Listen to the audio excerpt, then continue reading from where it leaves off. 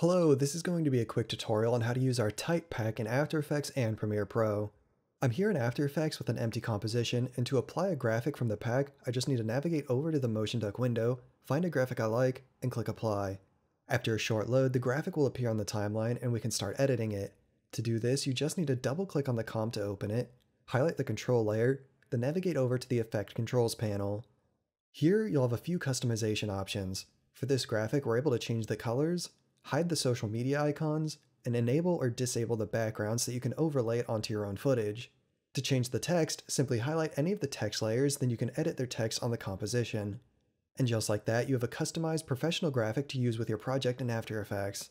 Using the type pack in Premiere is just as easy. Highlight your timeline, we'll navigate to the same graphic as before, then simply double click or drag and drop the graphic onto the timeline.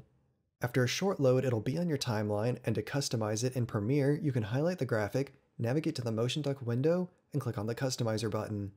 Here you have all the same options as in After Effects, but in a different menu, and you can change all of the colors and text just like before. If you don't want to use the Customizer panel, you can also use the Essential Graphics window to find the same set of options as well. Now you know how to use the Type Pack with Motion Duck in After Effects and Premiere Pro.